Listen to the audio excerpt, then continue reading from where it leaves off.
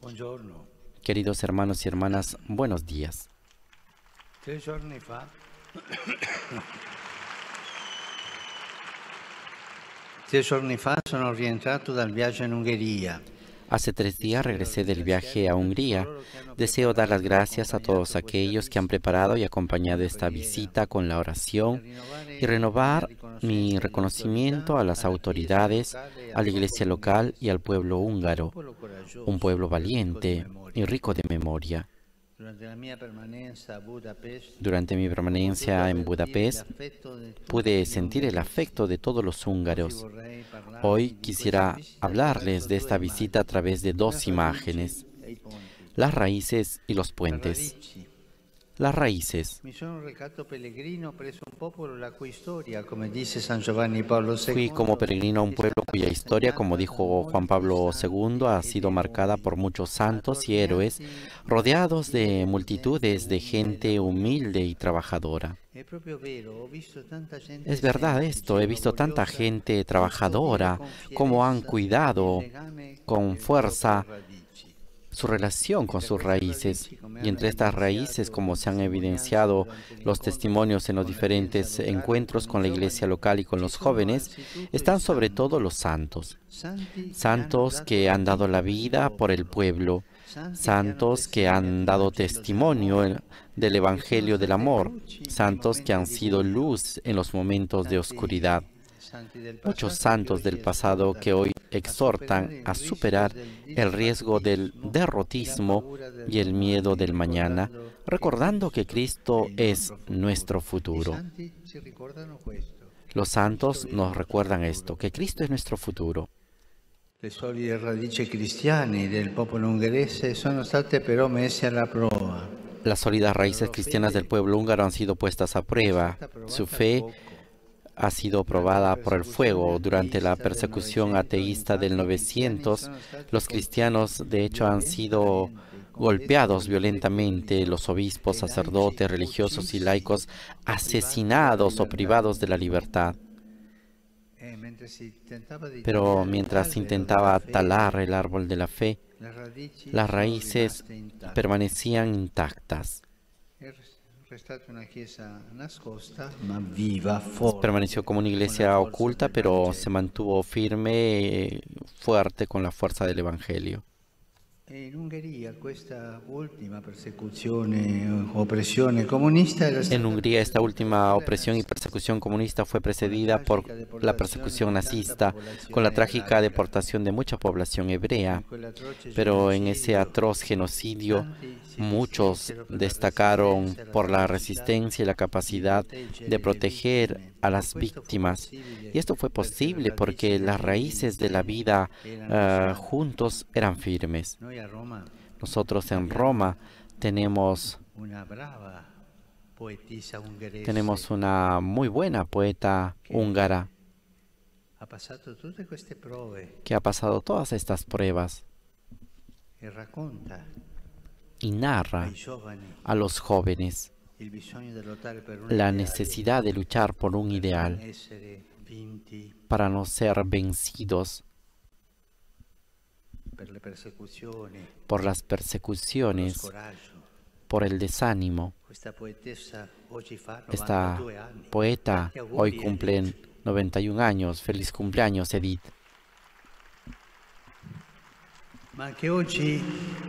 Come emerso negli incontri con i giovani e con il mondo della cultura, Pero también hoy, como surgió en los encuentros con los jóvenes y con el mundo de la cultura, la libertad está amenazada.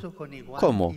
Sobre todo con los guantes blancos, de un consumismo que anestesia, por lo que nos conformamos con un poco de bienestar material y eh, olvidamos el pasado.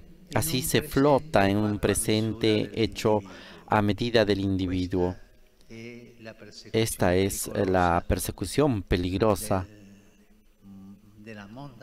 de la mundanidad il consumismo. que lleva adelante el consumismo. Cuando solo se piensa a uno mismo y se hace lo que a uno le gusta, las raíces se sofocan.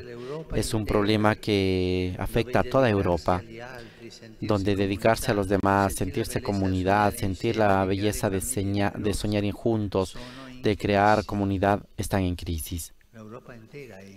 Europa entera está en crisis. Reflexionemos ahora sobre la importancia de cuidar las raíces, porque solo yendo en profundidad las ramas crecerán hacia lo alto y se producirá así frutos. Cada uno de nosotros se puede preguntar, incluso como pueblo, pero también cada uno de nosotros, ¿cuáles son las raíces más importantes de mi vida? ¿Dónde están plantadas? Las recuerdo, las cuido.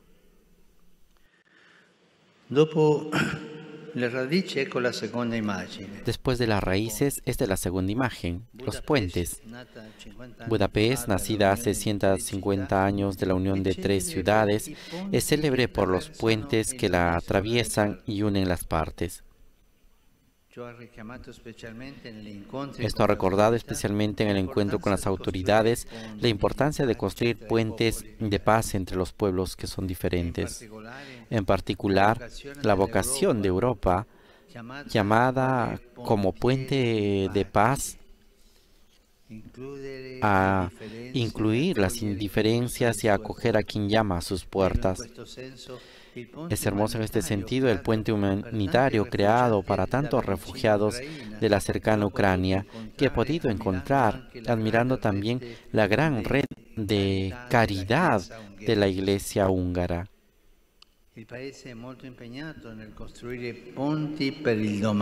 El país además está muy comprometido en la construcción de construir puentes para el mañana. Su atención por el cuidado ecológico y por el futuro es una cosa muy bonita de Hungría.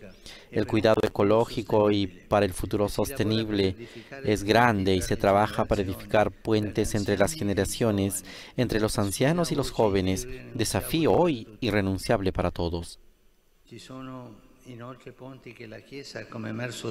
Además, hay otros puentes que la Iglesia, como surgió en el respectivo encuentro, está llamada a atender hacia el hombre de hoy, para que el anuncio de hoy no puede consistir solo en la repetición del pasado, sino que siempre necesita ser actualizado para poder así ayudar a los hombres y mujeres de nuestro tiempo a redescubrir a Jesús.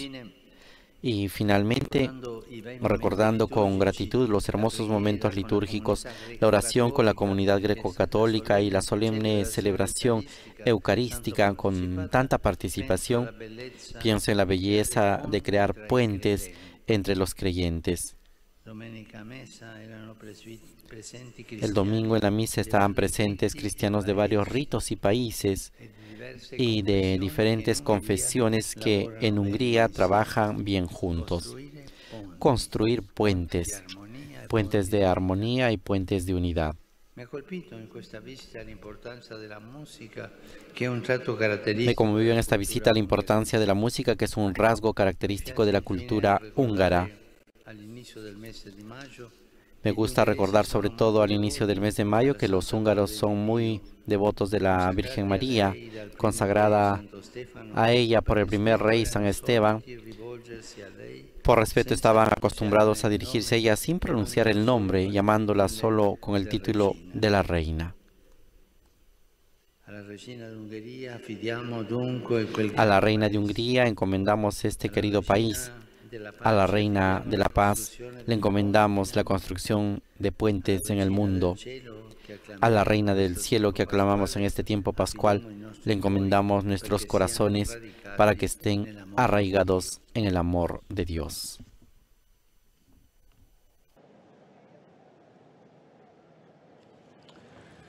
Queridos hermanos y hermanas, el domingo pasado regresé del viaje a Hungría tuvo como lema Cristo es nuestro futuro.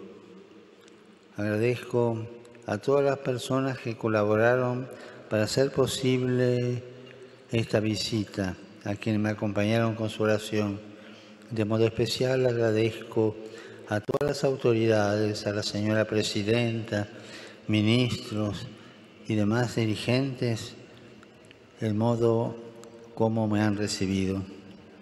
Quisiera destacar dos imágenes que en cierto modo resumen este viaje, las raíces y los puentes. En Hungría encontré un pueblo con profundas raíces cristianas, entre ellas el testimonio de los santos que fueron luces para sus hermanos y hermanas en los momentos de oscuridad. Sin embargo, las raíces cristianas, hoy como ayer, siguen siendo amenazadas no solo en Hungría, sino en toda Europa. Por eso es importante reflexionar sobre el origen de nuestra vida y de nuestros pueblos, para que se encuentre su verdadero sentido y se den buenos frutos. Otra imagen que nos invita a reflexionar son los puentes, que renuevan la llamada a conectar a las personas, abriendo así nuevos caminos al Evangelio, para que todos puedan conocer a Cristo y experimentar su amor. Saludo cordialmente a los peregrinos de lengua española, especialmente a los sacerdotes legionarios de Cristo que fueron ordenados el sábado pasado y a su familia. En este mes de mayo pidamos a María, Reina de la Paz, que nos enseñe a construir en el mundo puentes de amor y fraternidad. Que Jesús los bendiga y la Virgen Santa los cuide. Muchas gracias.